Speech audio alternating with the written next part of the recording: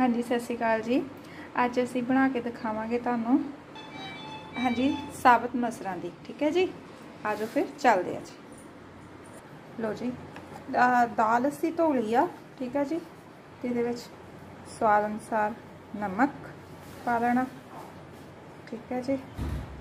ਤੇ ਥੋੜੀ ਜਿਹੀ ਹਲਦੀ ਪਾ ਲੈਣੀ, ਤੁਸੀਂ ਆਪਣੇ ਹਿਸਾਬ ਨਾਲ, ਠੀਕ ਹੈ? ਤੇ ਥੋੜਾ ਜਿਹਾ ਦੇਸੀ ਘਿਓ ਪਾ ਲੈਣਾ। ਕੁੱਕਰ ਦਾ ਢੱਕਣਾ ਅਸੀਂ ਬੰਦ ਕਰਤਾ ਤੇ ਹੁਣ ਇਸੇ ਨੂੰ ਅਸੀਂ ਲਵਾਵਾਂਗੇ 5 ਤੋਂ 6 ਸੀਟੀਆਂ, ਠੀਕ ਹੈ ਜੀ? ਲੋ ਜੀ, ਇੱਧਰ ਅਸੀਂ ਤੜਕਾ ਤਿਆਰ ਕਰ ਲਿਆ ਆ। ਸਾਡੇ ਪਿਆਜ਼ ਹੋ ਗਏ, ਟਮਾਟਰ ਤੇ ਮਿਰਚਾਂ ਦੋ, ਠੀਕ ਹੈ?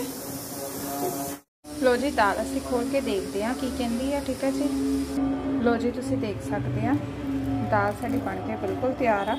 ਆ ਦੇਖੋ ਜੀ ਹੁਣ ਅਸੀਂ ਇਹਨੂੰ ਲਾਉਨੇ ਆ ਤੜਕਾ ਠੀਕ ਹੈ? ਇਧਰ ਅਸੀਂ ਰੱਖ ਲਿਆ ਤੁੜਕਣੀ ਇਹਦੇ ਵਿੱਚ ਪਾਵਾਂਗੇ ਥੋੜਾ ਜਿਹਾ ਤੇਲ ਸਰੋਂ ਦਾ।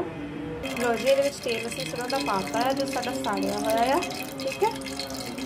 ਲੋ ਜੀ ਆ ਸੀ ਨਾਲ ਤੜਕੇ ਵਾਸਤੇ ਇੱਕ ਗਾਰਲਿਕ ਪੇਸਟ ਰੱਖ ਲਿਆ ਇੱਕ ਜਿੰਜਰ ਪੇਸਟ ਠੀਕ ਹੈ ਜੀ? ਇਹਦੇ ਵਿੱਚ ਅਸੀਂ ਥੋੜੇ ਥੋੜੀਆਂ ਪੇਸਟ ਪਾਵਾਂਗੇ।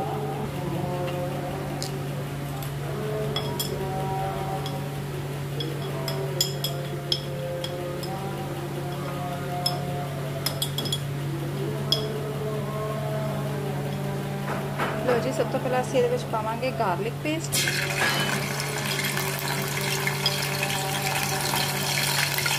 ਤੇ ਥੋੜੀ ਜਿਹੀ ਪਾਵਾਂਗੇ ਜਿੰਜਰ ਪੇਸਟ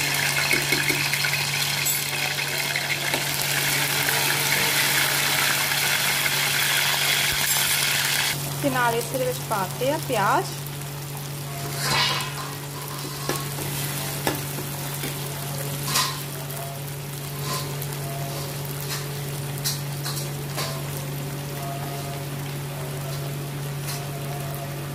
ਪਿਆਜ਼ ਸਾਡੇ ਨੂੰ ਚੰਗੀ ਤਰ੍ਹਾਂ ਭੁੱਜ ਗਿਆ ਠੀਕ ਹੈ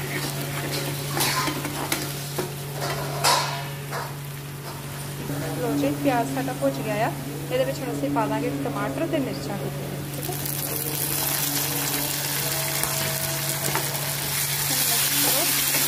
ਟਮਾਟਰ ਨੂੰ ਚੰਗੀ ਤਰ੍ਹਾਂ ਭੁੰਨ ਲੈਣਾ। ਠੀਕ ਹੈ?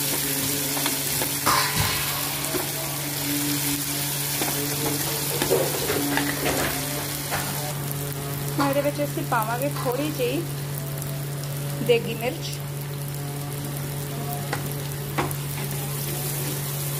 ਤੜਕਾ ਸਾਡਾ ਭੁੱਜ ਗਿਆ, ਇਹਦੇ ਵਿੱਚ ਹੁਣ ਅਸੀਂ ਦਾਲ ਨੂੰ ਕਰ ਦੇਣਾ, ਪਲਟੀ, ਠੀਕ ਹੈ? ਤੜਕਾ ਸਾਡਾ ਭੁੱਜ ਗਿਆ ਆ। ਇਹਦੇ ਵਿੱਚ ਕਰ ਦੋ ਦਾਲ।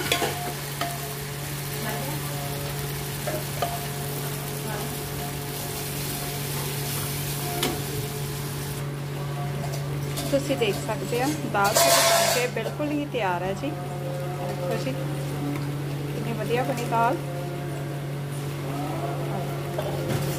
ਲੋ ਜੀ। ਜੇ ਤੁਹਾਨੂੰ ਵੀ ਸਾਡੀ ਦਾਲ ਦੀ ਰੈਸਪੀ ਵਧੀਆ ਲੱਗੀ ਹੈ ਜੀ, ਤੇ ਹਾਲੇ ਤੱਕ ਜਿਹਨਾਂ ਨੇ ਚੈਨਲ ਨੂੰ ਸਬਸਕ੍ਰਾਈਬ ਨਹੀਂ ਕੀਤਾ, ਉਹ ਸਬਸਕ੍ਰਾਈਬ ਕਰ ਲੈਣ ਤੇ ਵੀਡੀਓ ਨੂੰ ਲਾਈਕ ਤੇ ਸ਼ੇਅਰ ਕਰ ਦਿਓ। ਓਕੇ ਜੀ ਥੈਂਕ ਯੂ ਬਾਏ ਬਾਏ